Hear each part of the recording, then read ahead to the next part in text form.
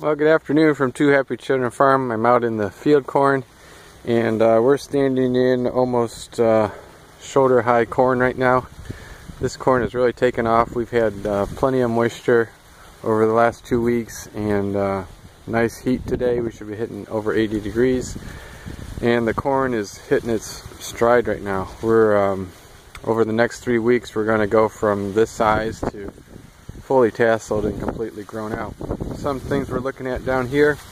Um, we had a rain last Wednesday and the corn has uh, built a canopy so the soil is still moist and um, that's really great because the, so the water's not evaporating off the soil.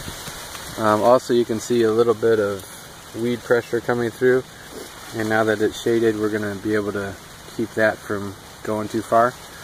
Uh, another experiment I'm running this year is we're tracking the soil moisture at 12 inches deep and right now this corn is completely happy. Um, the moisture says it's uh, saturated so the, the soil is holding as much water as it can right now. Corn can take up um, you know a couple tenths of an inch of water every day so this thing is, is really cooking right now. Um, I wish the whole field looked like this. Uh, over in other parts of the field, the corn is around waist high. It was planted a day or so later than this field, and uh, I can also see areas where tillage differences or where I had wheeled tracks from last year um, has made the corn stunted.